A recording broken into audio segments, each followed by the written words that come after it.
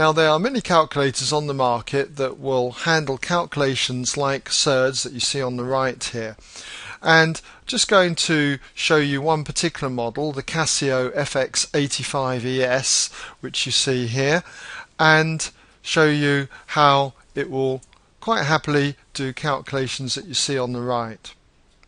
First of all though, make sure that you're in the right mode. So by selecting shift mode, make sure you're in the mode 1 here, Maths IO.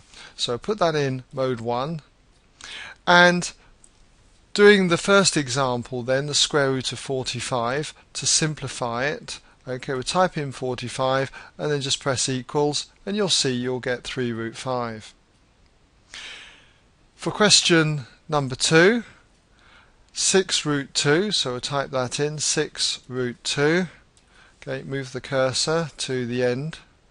Okay, and then it's times 3 root 27, so 3 square root 27.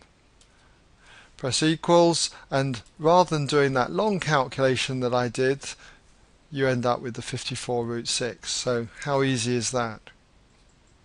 To demonstrate fractions in number 3, we'll just clear the screen, put it in fractions by pressing this button here, and then we have 3, get to the end of the fraction by pressing the cursor move key there, and then enter the square root of 5, and that's simplified, rationalized is 3 root 5 over 5, and it will quite happily handle ones like in example 4 here where we have another fraction a single term on the top 5 move the cursor down to the bottom part of the fraction and type in 3 plus the square root of 2 okay pressing equals it will take care of all the rationalizing and there we have the answer